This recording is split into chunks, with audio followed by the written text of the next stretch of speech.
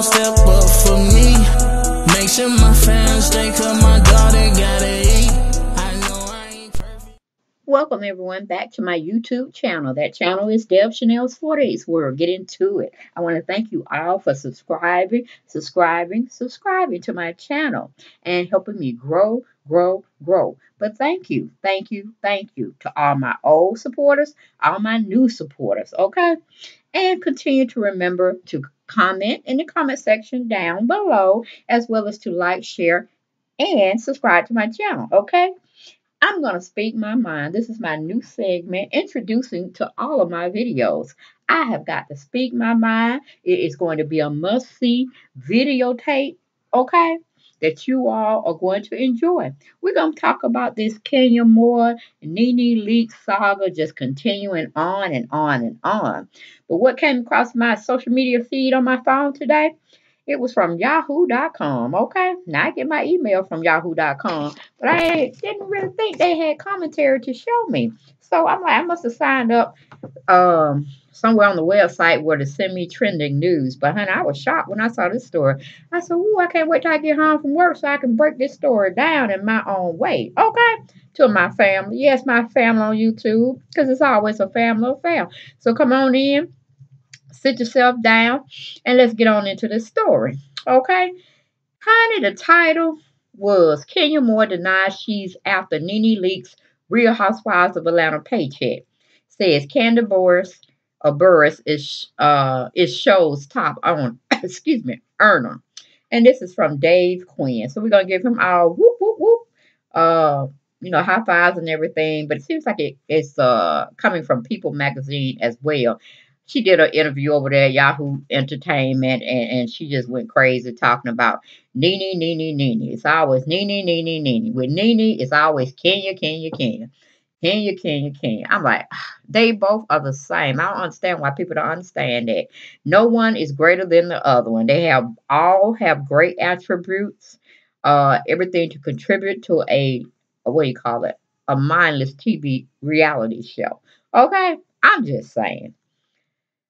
But I am so tired of Nene, Nene, Nene talking about Kenya, Kenya, Kenya, and Kenya, Kenya, Kenya talking about Nene, Nene, Nene. And they don't think neither one of them have stains on them. Okay. Ah, the both of them have stains. One thing I don't like about Kenya Moore is sometimes she don't want to fight her battles by herself with Nene. She always wants to include somebody or have people on her side so she can be like the ultimate bully out there. Now Nene, she don't. I mean, damn, she Nene, she get tea now, and she be with people that's gossiping and talking about somebody, and not necessarily bring it to the forefront because it seems like people like Sheree, people like Cynthia, people like uh Tanya Sams, you know, they get and, and Kenya Moore because we just recently saw that on the Housewives of Atlanta episode one, season twelve, where she just came in the midst of Kandi. Cynthia and uh, Eva talking, and she wanted to get the tea, and she wanted to go open up the door. Did nobody tell her to open up that door to that house?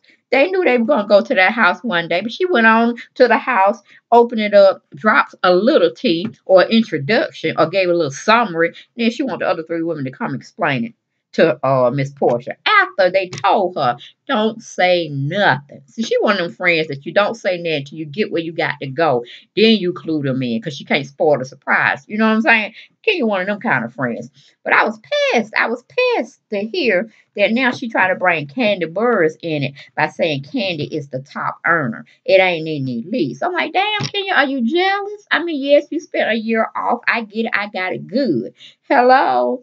Both you, you and Nene bring unique talents and drama-filled senselessness to the show. You definitely have your uh, fan base. You and her both have a very strong fan base. How I know? Let me tell you how I know. Because they be on my ass talking about you, Ken. They be on my ass talking about Nene. You know what I'm saying? But I got my opinion, so I must speak on it. Just like I give you all the opportunity to speak as well. But let's get on into the story because I'm like, can you fight your own brothers? Don't bring Kandi in it. Don't bring Eve in it. Whatever you don't like about Nene, break her down into size. Okay? Tear her up from the top of her head to the sole of her feet, but let you be doing. Don't be getting other people to ride your bandwagon to cheer you on, okay? Because Nene don't do that. Nene just come on up up there, you know, be ready to throw at you, be ready to spit at you, be ready to manhandle you and everything. But it's just her. She ain't got nobody on her bandwagon saying, go, go, go, go, go, Nene. Because if you remember, she got into it with Marlo. Uh, over you, I believe, when they it was some seasons way back when. But she got mad. Nene's problem is she don't like people to hang out with people she don't care for. And that's a hang up on Nene. Anybody try to trade friendship or don't make friends with somebody Nene don't hate, that's their business. That sound like uh, elementary and high school shit to me. Okay, like the mean girls walking around. You like who you like. You know, if they end up treating you the same way, then you should have learned a little something. Like keep them close, but don't keep them that close to, you know, tell your business to. But let's just get on into the story, okay? It says Kenya Moore denies she's after Nene Leakes Real Housewives of Atlanta paycheck. Says Kandi Burruss is the show's top earner. Okay, Kenya Moore may have some uh, issues with Nene Leakes, but money isn't one of them.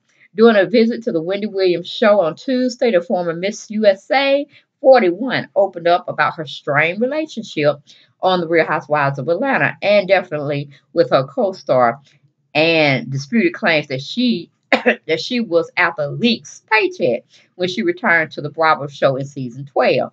I make my own money, Moore insisted. Well, Kenya, you right. You make some other avenue revenue in other projects, but Real Housewives of Atlanta is your base income that you want to put as your uh, asset of where you get your money from on a seasonal basis, but they pay you enough. Okay, they pay you enough, baby. Because if it's not, if it wasn't so, you wouldn't have been entertaining their ideas of coming back, and they wouldn't have been uh, attaining you to see if you wanted to come back. It was a mutual agreement. You know what I'm saying? Because the show did go on without you for that year. Was it lackluster? Of course, it was lackluster when Nene wasn't on the show, but to put it all in hindsight, every last one of y'all can be replaced with other people. I mean, to tell you the truth, I wanted to see other people get in there and make their own money and, you know, invite the OGs back from, you know, from whenever. But it seems like whatever drives the people at the time, they're going to keep that formula. Because would you change it if you had a multi-million dollar business or ratchetness going on?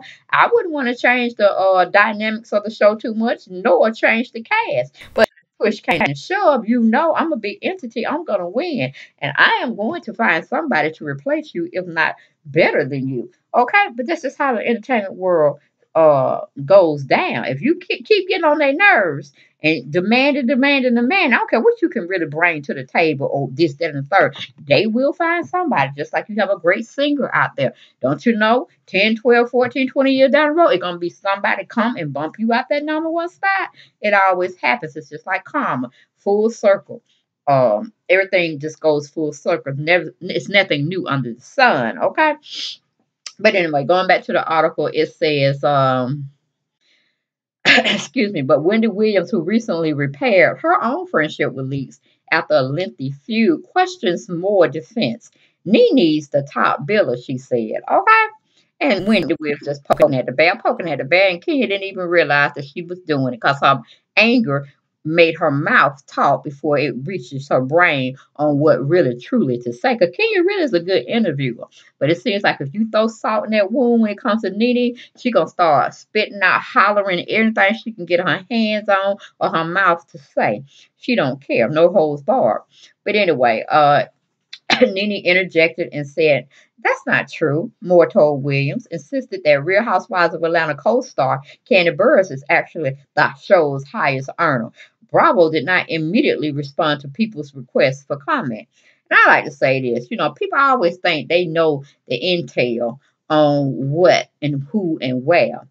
And really only the people that own the company really truly knows what a person is making. You know what I'm saying? And it used to be a thing on jobs uh, nowadays that you couldn't, or back when, that you couldn't discuss pay, or you know that was a immediately uh, written up situation. But I mean, I understand if a person is bringing in a lot of uh, viewers to the show and they're they're siding with who's uh, better than who's on the show. Of course, you know, they're going to probably uh, give them more money, but not that much more money. You know what I'm saying? It's not like you can just go write your own ticket and don't think it's gonna be negotiated on. Don't think them big people that own that company that produce the show ain't already had a set limit or how much they can make of each and every one of you ladies on the show and then still try to underpay you. It's just the, the facts of life if you really want to get down to it. So to me, you shouldn't even really care who makes the most money. You should just be uh happy to be on that platform and definitely try to wager something that you think would be a fair uh, assessment of your skills and talents you bring to the show. But truth be true, excuse me, the truth be told, you ain't gonna never be able to make what you think you can make. And it ain't nothing you can change about it, okay? But it's good to have those thoughts. But moving on back over to the story, the article that was written. Uh, you know, Kenya's saying, no, that's not true. Kandi Burruss is the highest uh earner and this, that, and third. And I think she just wanted to poke the bear uh, to get Nene incited to even probably think about going and talking to the executive executives and say, "You can make more than me." You know what I'm saying? Because you know, curiosity bites the cat all the time. But a cat got nine lives, so I guess you can stretch it a little bit. But going back to the article, it says Burruss, 43, has spent 11 seasons on Real Housewives of Atlanta. Joining the reality show in its second season, Leakes 51 was an original cast member when it premiered in 2008, but took two seasons off, leaving season eight and nine to focus focus on her acting career. Well, we all know how that went. Um, okay, it downsized. It went into the abyss. We know Nene can't act, but what she gives us is pure entertainment, and I enjoy it. Okay, but going back, it says Kandi makes the most money. money. So if I was coming for anybody's person bad, it would be Kandi.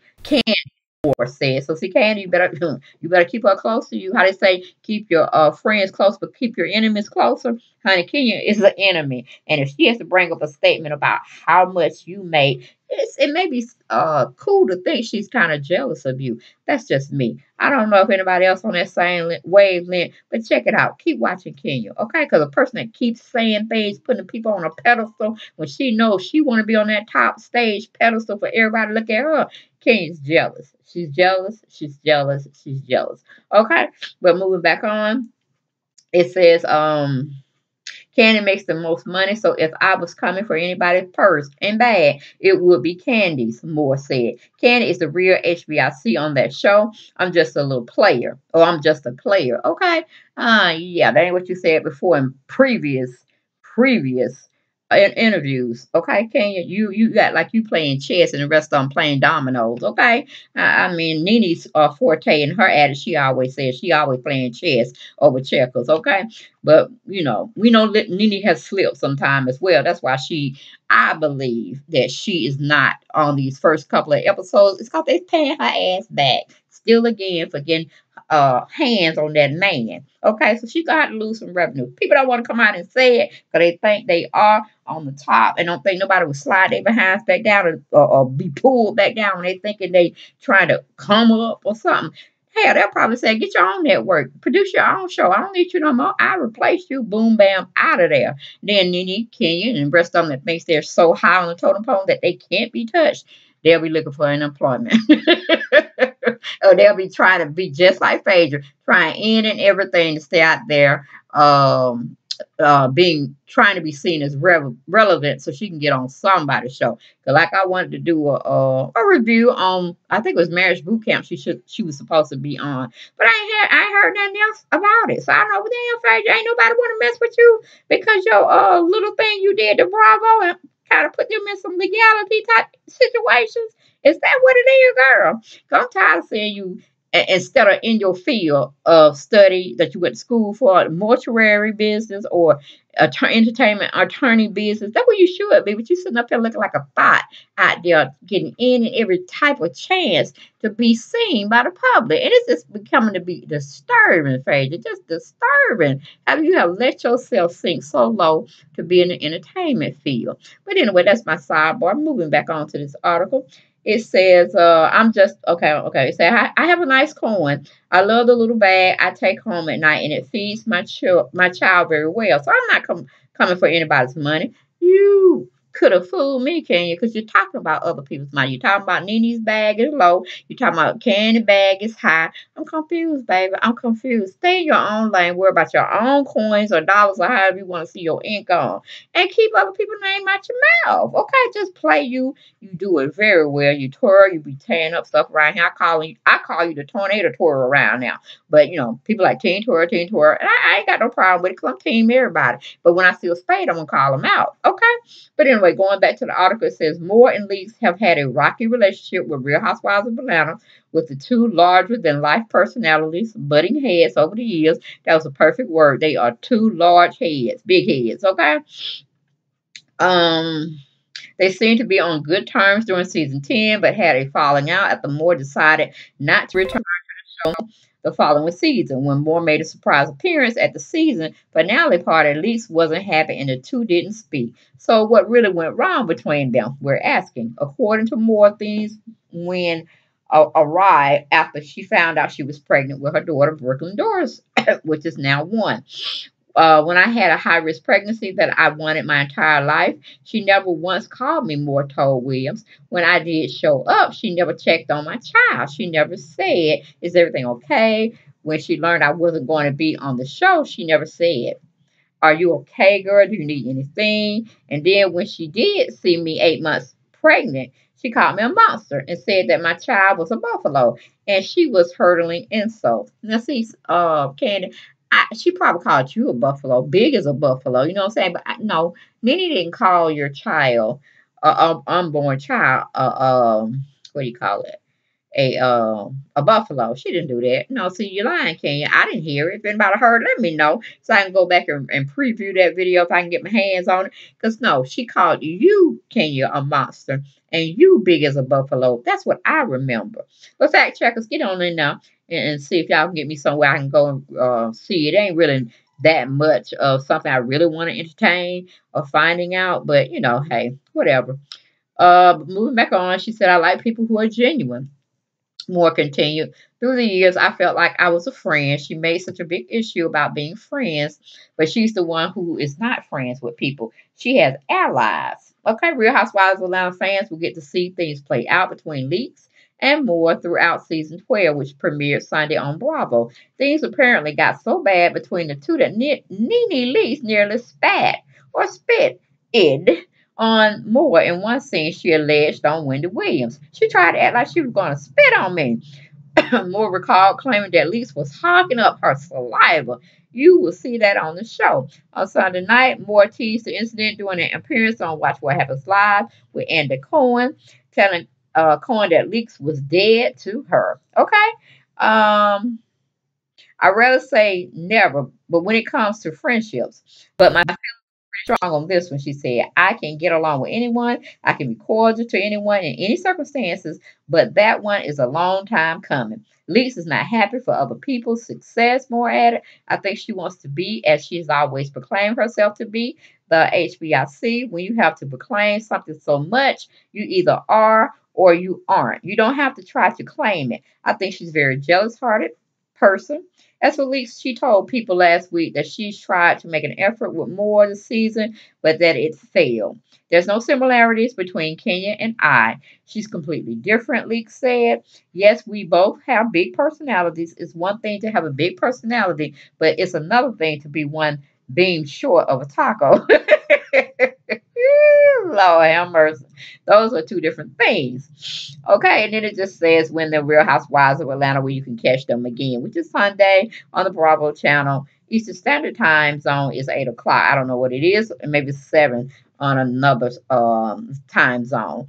But I'm like, Nene and Lily, Nene and uh, Kenya, they are two of the same people. They love giving insults to uh, each other. They love tearing each other down, and that's basically what it what it is. We love to see that mindless drama. Do we really care if they uh, become friends and, and one day be solid? No, I don't care. You know what I'm saying? What we watch for mindless drama, pretty much. We want to see discord here and there.